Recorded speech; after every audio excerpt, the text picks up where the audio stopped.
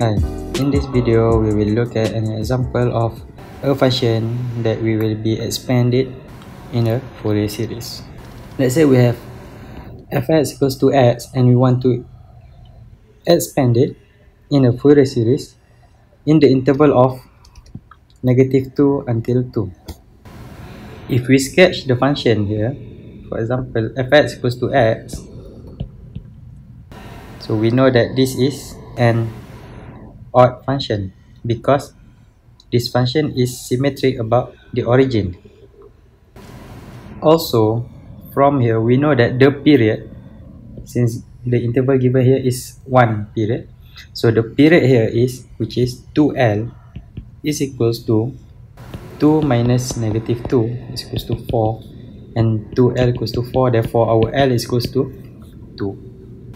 Since this is an odd function, we know that our Fourier series can be written as bn sine n pi x over L.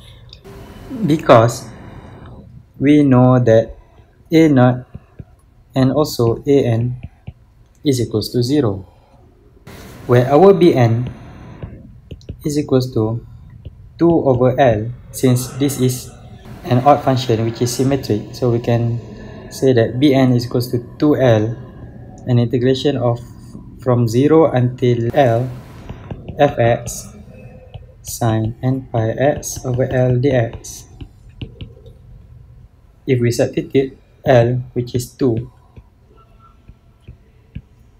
and our function is fx is equals to x to differentiate this integration we, we have two functions here an algebraic function and a trigonometry function. We can use by part to integrate this. To integrate this we can use table which is u and dv and we select x to be our u because according to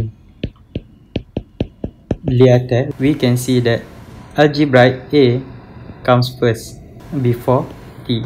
So we let our u equals to x and dv sine n pi x over 2 sorry. 2 here. We have to differentiate x until 0 differentiate x we get 1 and differentiate 1 we will get 0 and under dv we have to integrate.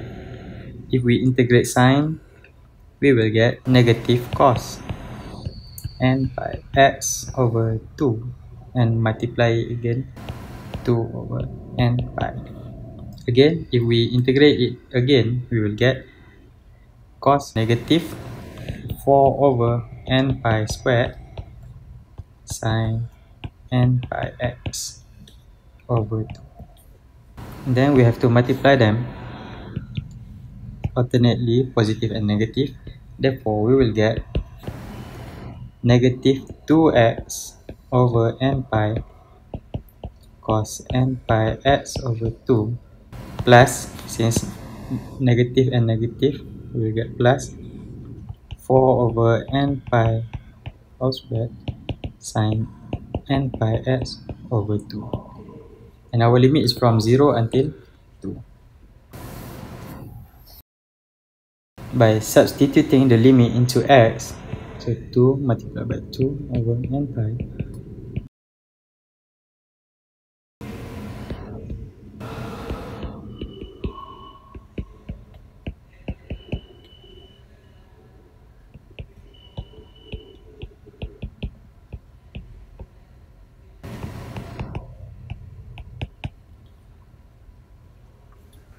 cos n pi is equals to negative 1 to the power of n and sine n pi is equals to 0 so this is our bn. Again we want to find the Fourier series. So we know that this is a Fourier sine series which is summation of n starting from 1 bn our bn is negative 4 over n pi sine n pi x over l where our l is 2